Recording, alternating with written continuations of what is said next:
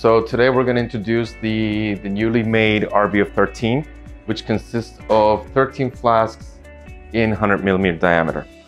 Um, what is the biggest difference between the static ovens and the rotary ovens are the not only the final temperature of the casting, but the process of making a flask is very, very important. So basically what is important of the furnace is the air circulation, which makes the even heat temperature.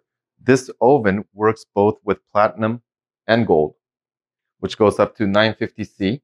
And as you see, this uniforms the heat inside the whole oven.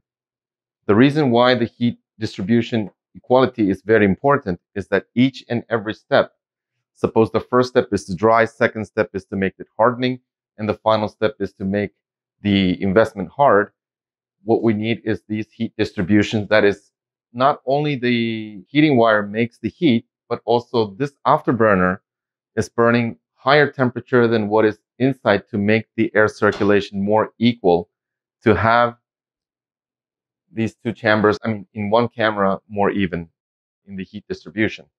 Another big benefit for the afterburner is while during the wax is draining into the bottom, the smokes and the smells comes out.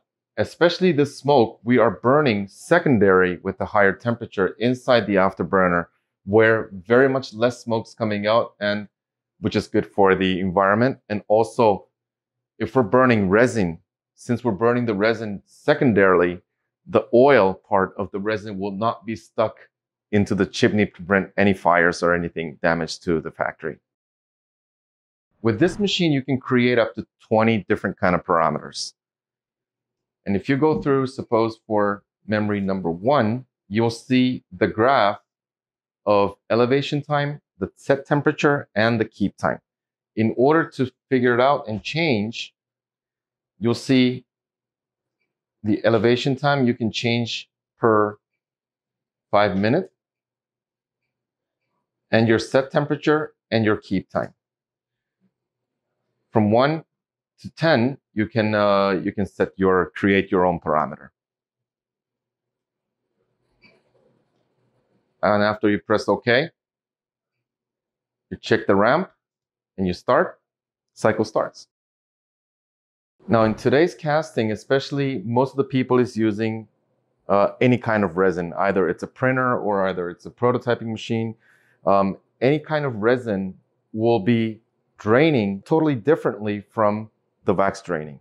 Especially this resin has a thermal expansion in a certain degree where it is very difficult to drain. So not only the precise temperature, but the high elevation time to a higher temperature rapidly will be playing a very important role to a casting result.